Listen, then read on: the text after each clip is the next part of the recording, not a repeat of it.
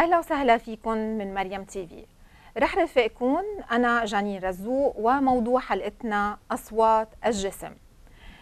أجسامنا تتحدث معنا بلغتها الخاصة. أصوات غريبة عديدة ومختلفة بيصدرها الجسم. نعرف مصدرها ولكن لكل صوت سبب بإصداره. سواء من المعدة أو الأنف أو الحلق أو غيره قد تكون أصوات طبيعية أو علامات بمثابة إنذار تستوجب الفحص والمتابعة مع طبيب. طبيبتنا دكتورة آه، هبة رزوق حائزة على اختصاص في طب العائلة. أهلا وسهلا فيك باستوديو مريم تيفي آه، دكتور رح تعطينا آه، تفسيرات عديدة لأصوات الجسم. كتير أجسام عندها أصوات بنسمعها وكتير أشخاص كمان ما بيسمعوا هالأصوات. فعادة أصوات هي طبيعية بالجسم. أه وبتعبر عن أشياء بغاية الأهمية. فيها عادة وأكثر الأوقات خجل. ليه هالخجل؟ هلأ أكيد آه، الأصوات اللي بيصدرها الجسم حسب كل صوت في منا طبيعية وفي منا آه ما بتدل على ولا أي مشكلة وفي منا العكس. آه الإنسان لأنه في عنا يمكن هالاعتقاد آه أنه أغلبية هالأصوات وقت اللي بتصدر بتشكل نوع من الإحراج عند الأشخاص. لأنها بتصدر بأوقات يمكن ما بنكون متوقعينها أو لأنه ما عنا نحن كنترول عليها على الأرجح كرمال هيك بتسبب لنا هالنوع من الإحراج. عظيم. طيب من الأصوات المسموعة اللي بيصدرها الجسم آه رح بلش بالعطس. آه, آه، هل العطس هو وسيلة لحماية الجسم؟ آه مزبوط. العطسة هي réflexe آه الجسم بيصدرها بأغلب الأوقات لحتى يتخلص من مادة دخلت على الأنف وسببت له نوع من الإزعاج أو ال irritation. فيها تكون من وراء شيء نحن تنفسناه مثلا رمل آه، pollen من وراء الربيع أو من وراء ريحة قوية تنشأناها زعجت غشاء الأنف. فبأغلب الأوقات الأنف بيعمل هيدا الريفلكس ليظهر هالمادة يلي هي موجودة. لكن هي صادرة من الأنف مش من الفم. الإحساس يعني أول شيء ببلش بالأنف أغلب الأوقات بيوصل المساج للدماغ إنه في شيء عم يزعج الأنف والدماغ بيرجع بيعطي الأمر لباقي الجسم. إنه يصدر أو يكب الهواء بطريقة قوية تا حتى نظهر هالمادة يلي عم تزعجنا. فيها كمان تكون مش بس قصص من برا فيها تكون أصلا إفرازات موجودة بقلب الأنف وهي عم تزعجه. يعني ممكن تكون بكتيريا أو فيروس بكتيريا لكن بنظف تنظيف عملية تنظيف. نعم. هيدي بأغلب الأحيان يعني 80 ل 90% من الحالات. بس مثل ما قلت لك لأنه في آه، أعصاب هي مسؤولة عن هال عن هال réflexe المعين. حيلا irritation لهيدا العصب هو تحديدا العصب الخامس تبع الوجه. ممكن كمان عند بعض الأشخاص يسبب لهم العطس. مثلا بنلاقي في عالم هن وقتها بينزعوا شعرها أو وقتها مثلا بيعملوا épilation آه للحواجب كمان بيعملوا بيعطسوا. هذا محفز لكان. مزبوط آه بيعطسوا بيصير عندهم نعم. هذا ال réflexe. كيف بيصير العطس؟ يعني آه إذا بدي أقول ببلش من أي مركز من الدماغ والتبعية تبعيته؟ آه هلأ ما رح نحكي كثير لا بكثير موجز. donc هو العصب الخامس تبع الوجه الإحساس بيعطي سينيال للدماغ إنه في آه شيء عم يزعج المنخار والدماغ بيرجع بيعطي الأرض الامر للمنخار وباقي العضلات إن كان عضل المعدة يلي بنشد عليه حتى نكب هالهواء نتم آه، بطريقة قوية ومن المنخار كمان تنظهر هذه المادة يلي هي عم بتسبب ال irritation. في اعتبرها انه طريقة آه، مفاجأة ولا إرادية؟ العطس؟ باغلب الأحيان نعم نعم لأنه هي réflexe يعني حركة لا إرادية. لا إرادية. آه، لكن دكتور في يقول إنه العطس هو خروج الهواء بطريقة مفاجئة ولا إرادية؟ مزبوط. لأنه مثل ما قلت لك نحن ما فينا نتحكم بالعطسة حتى في عالم بصيروا يعطسوا سريع ورا بعضهم ما بيقدروا يوقفوا غير ما آه، يتخلصوا من السبب يلي هو عم بيسبب لهم العطسة.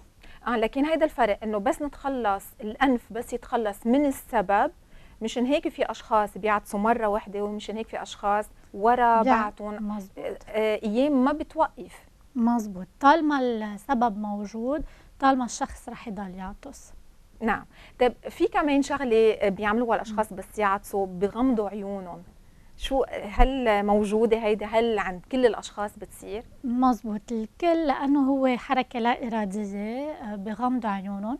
بس بعد ما لقينا علميا سبب واضح 100% يفسر ليش الإنسان بس يعطس بغمض عيونه.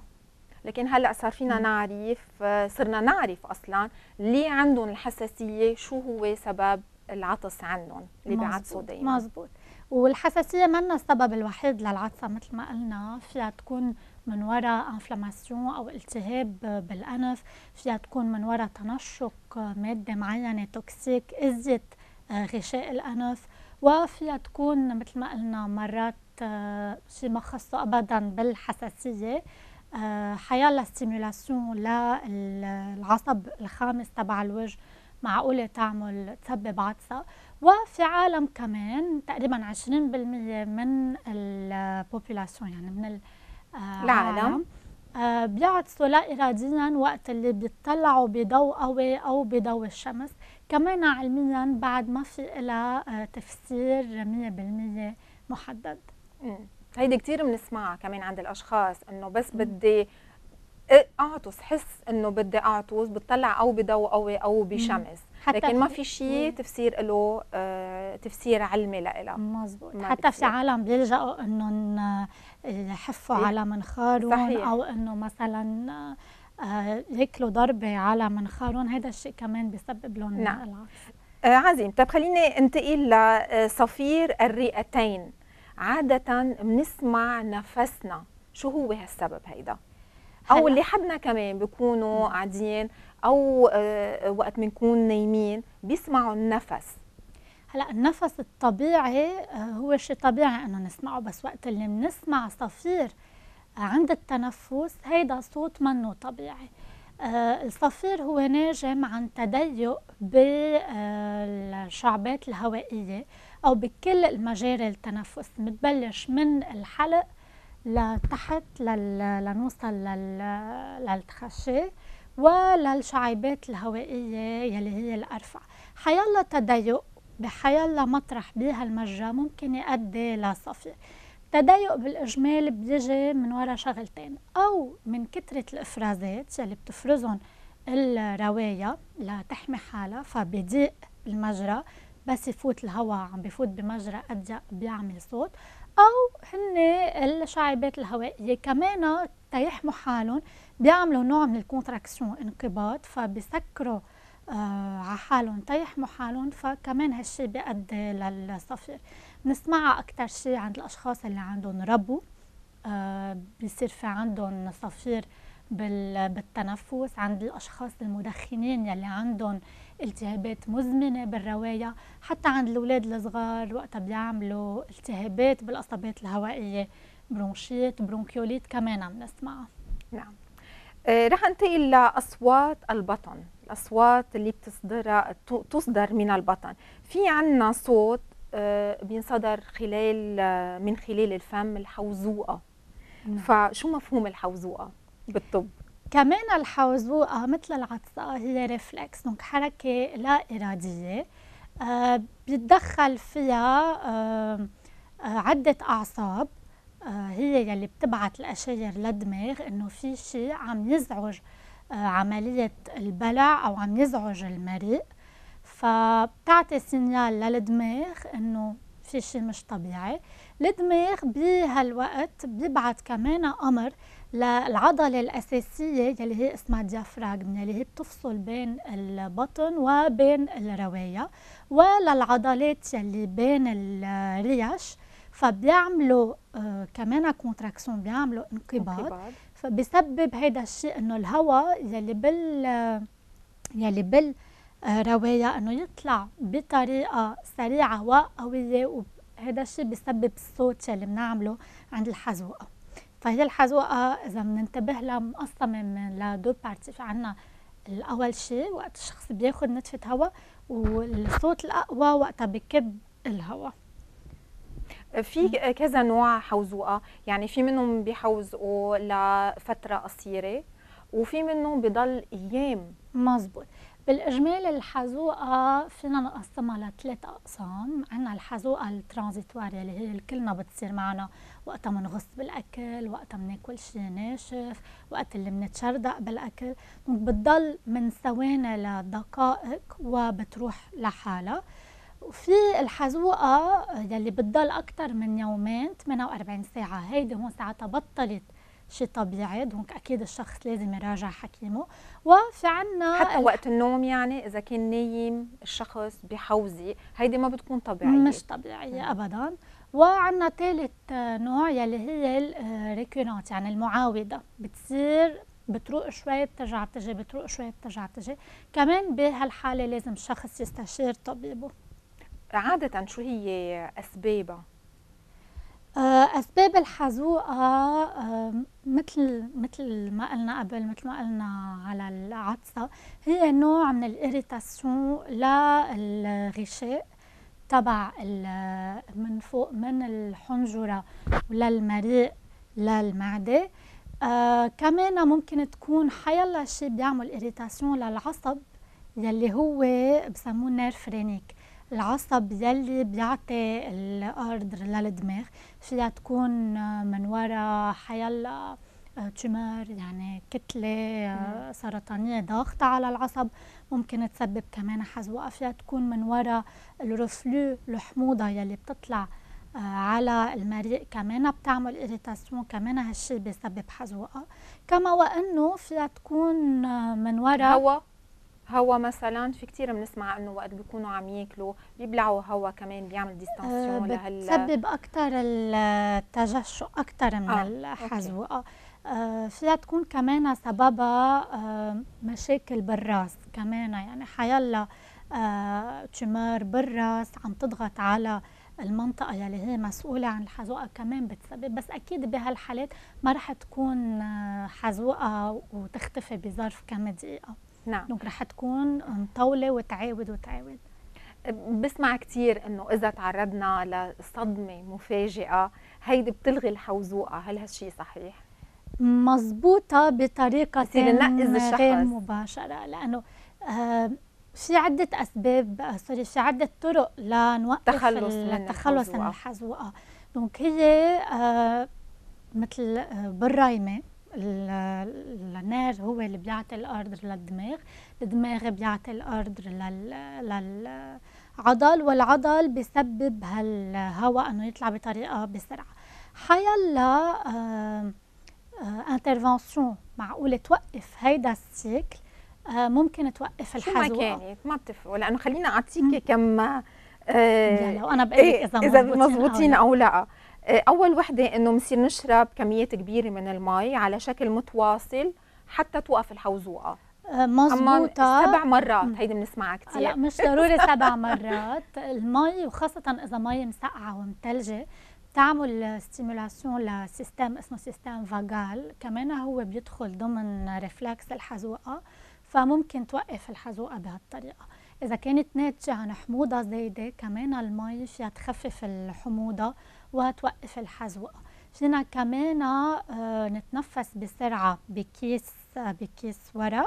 ممكن التنفس آه بسرعة ممكن كمان يوقف الحزوقة آه. وقت الشخص بيشهق عشان هيك بنقول لهم ينقزوا بيعمل بسرعة بياخذ هواء بسرعة. كمان هذا الشيء ممكن يوقف في عندي كمان وحدة آه، من ضم الفخذين للبطن لإعادة الحجاب الحاجز لوضعه الطبيعي. هل معقولة هيدي آه هيدي الطريقة بنزيد بنزيد ال pression الضغط الضغط على, على ال diaphragme اللي هو الحجاب. كمان معقولة. يوقف فينا نعمل طريقة ثانية هو إنه الواحد يشد مثل كأنه بده يفوت على التواليت بنسميها هيدي Valsalva maneuver كمان بتوقف الحزوقه وآخر شيء آه، بعد في شغلتين في الواحد يحبس نفسه. جوا كمان هي هي كمان كثير بنسمعها. أو بيعمل مساج للمنطقة لحد الكاروتيد يلي هي الأرتير يلي هون بالرقبة. في عنا هون آه، مجمع من من الأعصاب. كمان بس نعمل لهم مساج ممكن نوقف الحزوقه بس هيدي ما فينا نعملها عند الأشخاص اللي عندهم مشاكل بالقلب so بدهم ينتبهوا المشاهدين إنه مش في لكن خلينا على إيه، الأشياء الهينه اللي بيقدروا يعملوها بدون ما يتخطوا ال limite آه، تبع الطب لأنه بنصير بأشياء خطرة. آه، رح أنتقل لك من أصوات البطن اللي هي كركرة البطن. شو هي الكركرة؟ الكركرة هي صوت طبيعي بتحدثه إن كان المعدة أو باقي الجهاز الهضمي بدل إنه هالجهاز الهضمي عم يشتغل وعم بيصير في هضم للأكل من كان من المعدة ونزولا للمصران الغليظ. لكن هي الكركرة طبيعية. هي ما فينا نقول إنه طبيعي. نعم. آه بيزيد ببعض الحالات. بنسمعه آه أكثر مثلا إذا كانت المعدة فاضية. بالنهاية الجهاز الهضمي كله هو نوع من tube في بقلبه هواء. وقت يكون فاضي الجهاز الهضمي بيكون في هواء أكثر بقلبه so بنسمع الأصوات أكثر يعني مزبوط إنه بيقولوا بنكون جوعانين شو عم بتكركر بطننا بتكركر بنسمعها أكثر وقت نعم. نكون جوعانين بس هي آه إن كنا جوعانين أو مش جوعانين على طول الكركره موجودة بس مزبوط. بتنسمع أكثر بتنسمع أكثر وقت, وقت بتكون فارغة فارغة. المعده نعم.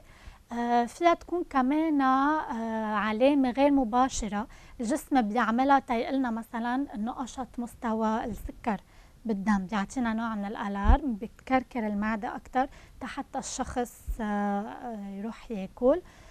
بنسمعها كمان كثير وقتها يكون في عملية الهضم وبتزيد هيدا الأصوات لما الإنسان بيهضم أنواع معينة من الأكل مثلا الأكل المليان ألياف آه، المعدة بدها تعمل افار أكثر والجهاز الهضمي بده يعمل افار أكثر حتى يهضم بكون عم يشتغل أكثر فبنسمع هذا الصوت أكثر بنسمع كمان أكثر وقت الشخص بيكون عنده نوع من الحساسية عن على أنواع أكل معينة خاصة على الجلوتين يعني مشتقات القمح أو على اللاكتوز فكمان بصير هيدا بتصير هيدا الأصوات أعلى.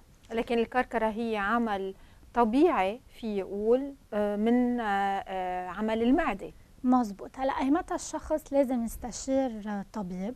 لازم الشخص يستشير طبيب. أكيد إذا هالكركرة كان معها في أوجاع بالبطن إذا كان في عنا مشاكل إسهال اكتام يعني أي حركة غير طبيعية للأمعاء أو إذا كان في معها نفخة كثير قوية أو انقطعت القبليه عن الأكل أو جاع طول بالمعدة الشخص ما عم يقدر ياكل عم يضعف عم يخسر وزن.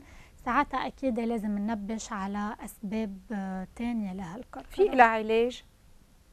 في لها علاج أكيد. هلأ آه، أكيد إذا في آه، مرض من وراء هالكركرة الزائدة لازم يتعالج المرض إن كان مصران غليظ إن كان حساسية على مشتقات القمح حساسية على اللاكتوز في أمراض تانية كمان بالمصارين مثل ال Crohn disease وغيرها. آه إذا بس هي ناتجة عن آه مصران غليظ أو عن أنواع أكل معينة ساعتها نحن بننصح الأشخاص يعملوا آه نوع من الجدول calendrier يكتبوا مثلا كل يوم شو أكلوا وأي متى انزعجوا أكثر شيء أو حسوا بهالأصوات أكثر شيء. هيك بيقدروا يعرفوا شو نوع الأكل يلي عم يزعجهم ويتفادوا. نعم. نعم. التمارين بتساعد كثير أشخاص بتسأل. السبور والتمارين الرياضية أكيد بتساعد الجهاز الهضمي بتساعده على إنه آه، يهضم الأكل بطريقة أحسن وعلى إنه آه، كمان يشتغل بطريقة أحسن وبتحارب أكثر شيء الإكتئاب. التوتر والقلق. هل هيدا محفز للكركرة أو مشاكل المعدة؟ مزبوط ال stress والتوتر آه، بيزيدوا من الإفرازات آه، إفراز هرمونات بالجسم.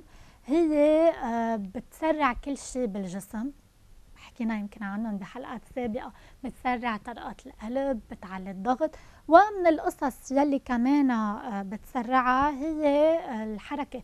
تبع آه، الجهاز الهضمي فمشان هيك بتزيد الكركرة كمان وخاصة بالمعدة وبالجهاز الهضمي نعم من الأصوات المخجلة إذا فينا نسميها للجسم آه، رح انتقل للتجشؤ اللي هو الشخص وقت اللي بيتدشى شو هو نعم. التجشؤ؟ التجشؤ كمان هي حركة آه لا, لا إرادية بس كمان فينا نحن نعملها أصلا عمدا نعملها عمدا هيدي هيدي بيرجع عند الشبيبة. بصيروا يجبروا حالهم هيدي يعني آه، إراديا عم نحكي بالمبدأ. هي بتكون لا اراديه نعم. بس في الإنسان هو يعملها اراديا. دونك التجشؤ هو آه، طريقة بيستعملها الجسم ليتخلص من الهواء الزايد يلي فات على المعدة. بالإجمال هيدا الهواء بيعلق أكثر شيء بأسفل المريء. donc المعده تما يفوت هالهواء على قلبها أو اذا كان في زياده آه، هواء بالمعده هالشيء بيسبب نوع من ال distension يعني ارتخاء يمكن أو توسع. المعده نعم. بسبب إزعاج. فتا يتخلص الشخص من هالهواء الزايد الجسم رح يرخي العضل تبع المريء يلي هو عادة بسكره ويدفش هالهواء الزايد لبرا. هل شيء طبيعي إنه الشخص يتدشى ثلاث أو أربع مرات بعد الطعام من بعد ما ياكل؟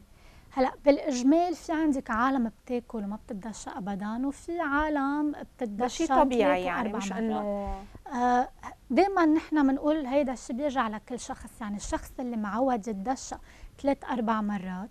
إذا تدشى أكثر من ما هو عادة بيتدشى هون صرنا آه بالشيء الغلط. لازم يراجع آه حكيمه.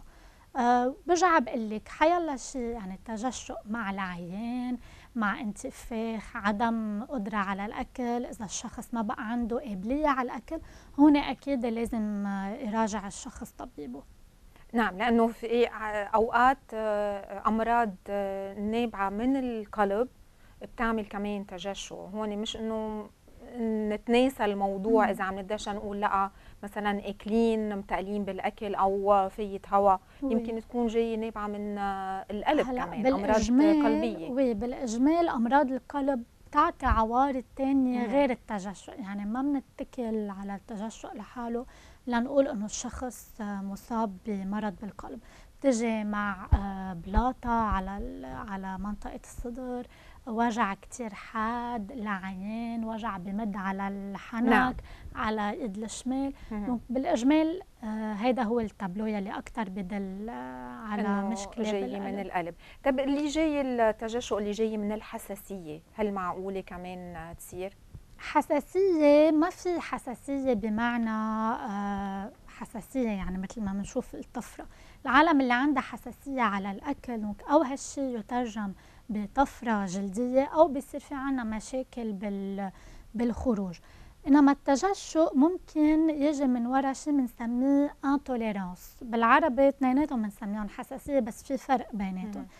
ال intolérance هو لما الشخص ما بي يعني جسمه ما بي بيهضم بطريقة صحيحة نوع من الأكل هون أكثر من التجشؤ أكثر من الحساسية يلي هي آه، ناتجة عن الحساسية والمأكولات يعني اللي بتعمل الطفرة.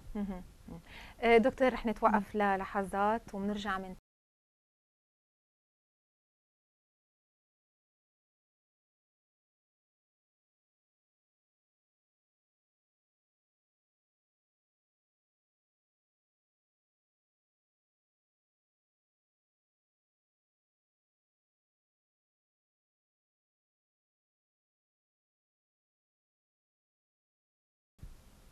مجددا معكم من مريم تي في بحلقة بعنوان أصوات الجسم وضيفتنا دكتور هبة رزو.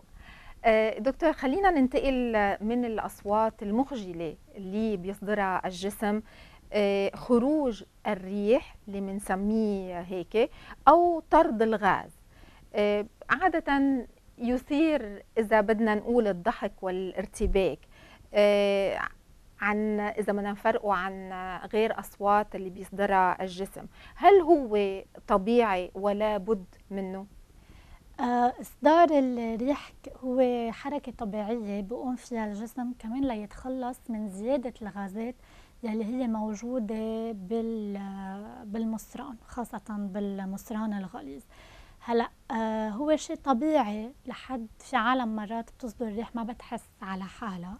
آه ببطل طبيعي أكيد وقتها بيصير في مع مع هالغازات أوجاع بالبطن وقتها بيصير في معها كمان مشاكل بالخروج وأكيد وقتها بيصير في عنا آه، عدم قدرة يعني انتفاخ كثير انتفاخ. قوي وعدم قدرة على الهضم وعدم قدرة على الأكل ليه ليه بتسبب ألم عادة الغازات هلأ الغازات آه، بكثره وقتها بتتجمع بكثره بالمصران بتسبب بتمدد بقلب المصارين الرفيعة آه، والمصران الغليظ. وهيدا التمدد هو يلي بيسبب بالأوجاع كما وإنه آه، المصران الغليظ ليقدر يتخلص من هالغازات الموجودة. رح يبلش آه، يصير يعمل كونتراكسيون انقباضات. donc تا يقدر يدفش هالهواء لبرا. وهول الانقباضات هن كمان يلي بيسببوا بالالام وخاصه المغص بقلب البطن. هل معقول؟ أنا وعم بعمل ال research آه، آه، معقول يكون المأكولات اللي الغنية بالكبريت هي بتسبب الرائحة الكريهة؟ هلأ الرائحة الكريهة بالغازات أغلبيتها من وراء غاز آه، اسمه الميتان يلي هو بقلب بنلاقيه بقلب الريح يلي بيصدرها جسم الإنسان. المأكولات اللي فيها الكبريت يعني كل شيء خاصة المأكولات الغازية المشروبات الغازية. وكل المأكولات اللي فيها كتير ألياف هي أكثر شيء اللي بتسبب آه، الرائحة الكريهة للغازات. غير مسببات للرائحة الكريهة هي أكيد إذا في حيالله التهاب بالجهاز الهضمي آه، إذا في أمراض من وراء هالغازات بكثرة مثل حساسية الجلوتين يعني مشتقات القمح أو إذا في مشكلة انتوليرانس آه، أو تحسس على اللاكتوز. نعم. آه، لكن في يقول إنه عن طريق التجشؤ اللي حكينا فيه بالمقطع الأول من الحلقة والغاز آه، اللي هو طريق الخروج يعني الريح هو اللي غاز يطرد من الجسم آه وكتير مفيد إنه يظهر من الجسم صح؟ أكيد أكيد لأنه كثرة الغازات بقلب الجهاز الهضمي رح تسبب عدم ارتياح عند الشخص ورح تخلي هالجهاز الهضمي ما يشتغل آه، مثل ما لازم.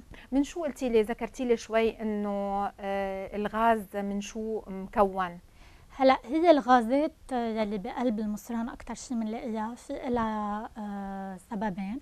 أو هي البلع بلع الغاز بكثره بنلاقيها عند الأشخاص مثلا يلي بيحكوا هن وعم ياكلوا يلي ما بيمضغوا الأكل مزبوط هن وعم ياكلوا يلي بيشربوا قلنا مشروبات غازية.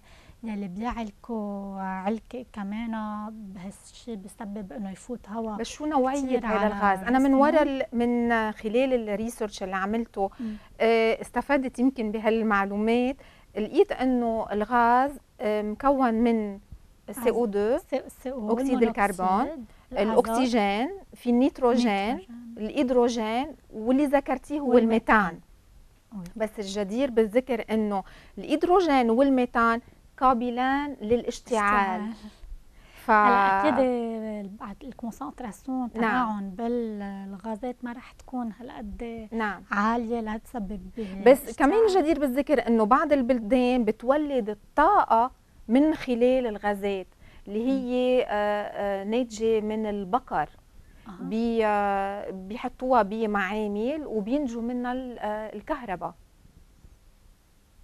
يمكن عند فكرة حلوة للبنان ما حدا بيعرف عند الإنسان إذا نعم. هالشيء بيطبق على الإنسان. نعم أوكي. آه لكن خلينا ننتقل آه لأصوات آه, آه، لصوت جديد بيصدره الجسم. هو الشخير أثناء النوم.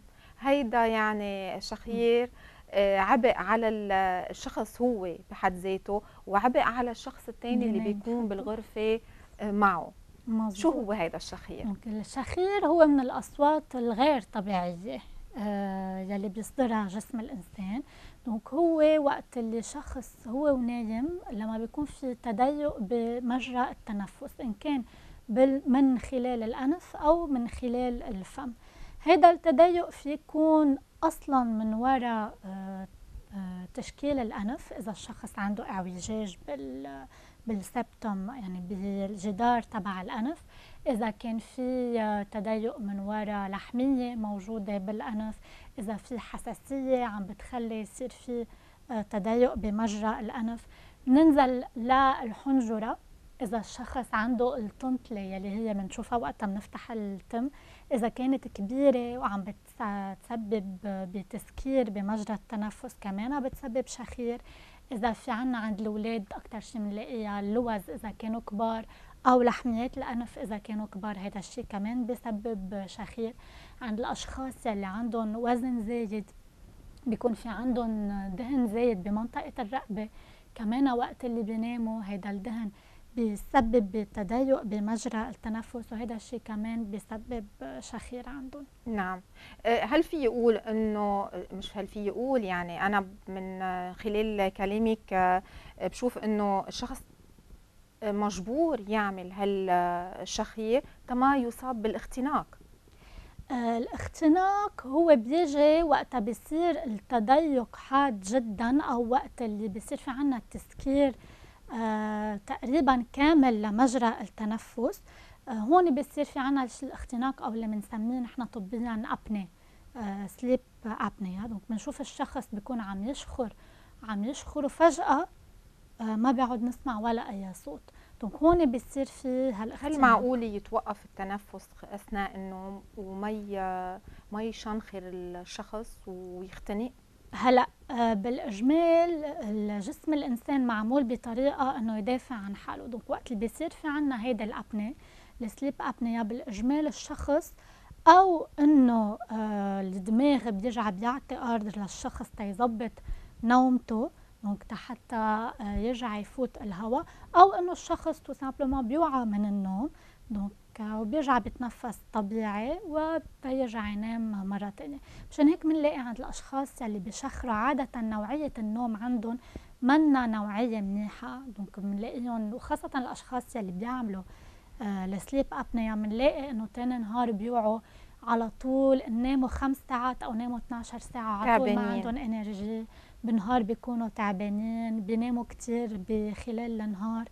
حتى هذا الشيء ممكن يسبب لهم بارتفاع بضغط الدم وبمشاكل صحية تانية. آه، شغلة تانية مسببة للشخير هي كمان ارتخاء بعضلات الحلق وبعضلات الحنجرة. donc بنلاقيها كمان عند بعض الأشخاص وقت اللي بيناموا خاصة عند اللي بيشربوا كتير كحول قبل ما يناموا. donc بصير في عنا ارتخاء زائد عن اللزوم بهالعضلات آه وكمان باللسان بعضلة اللسان. donc بيرجعوا لورا وبيرتخوا وهالشي بيسكر لهم كمان آه المجرى تبع التنفس. نعم.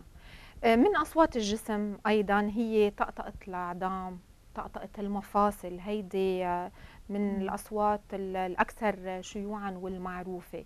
آه، شو هي؟ طقطقة المفاصل لها عدة أسباب. السبب الأكثر شيء بنلاقيه هو آه، من وراء وجود فقاعات من الهواء خاصة غاز الأشدر الهيدروجين كمان غاز نعم. إيه. بقلب آه، المفاصل. آه، نحن المفصل هو مكون من العظمة وعظمة وبيناتهم في المادة الجيلاتينية. وبالمفاصل بين المادة الجيلاتينية بنلاقي في نوع من السائل اللزج.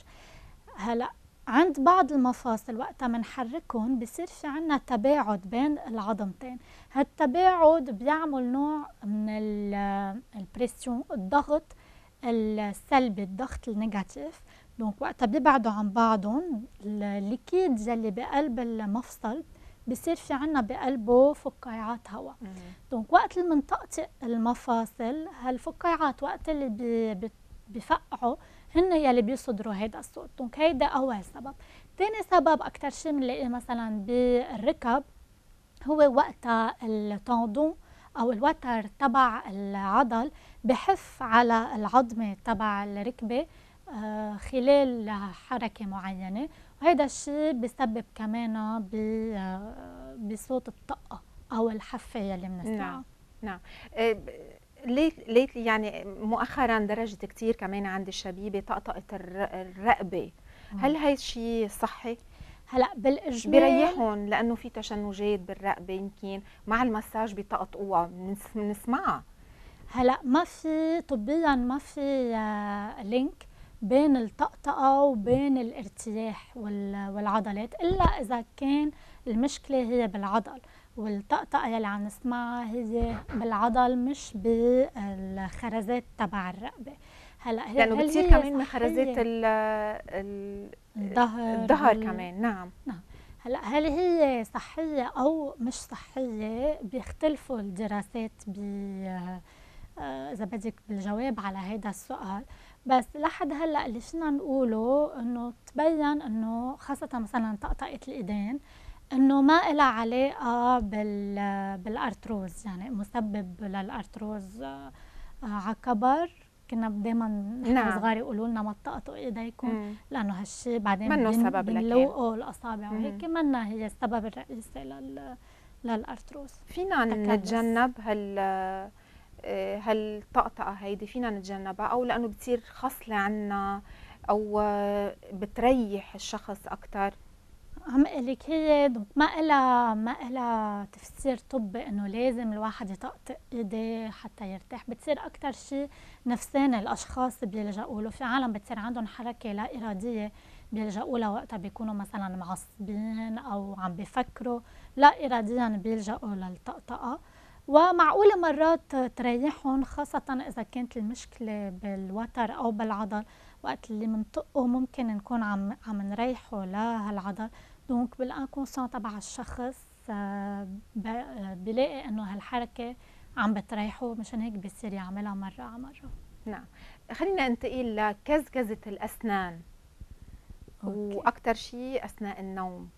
من شو ناجي؟ هي بنسميها نحن طبيا بروكسيزم في عالم بكزوا على أسنانهم آه، حتى هن واعيين خلال النهار وفي عالم هن اكثريتهم بكزوا على أسنانهم هن ونايمين آه، طبيا كسبب آه، مسبب لها ما في عنا سبب آه، رئيسي أغلبية الوقت بنلاقيها عند الأشخاص يلي عندهم stress معين أو يلي بيكونوا هن عصبيين زيادة عن اللزوم فبيلجأوا لطقطقة أو الشد على الأسنان كطريقة ليعبروا أو لينفسوا عن هال stress يلي موجود عندهم.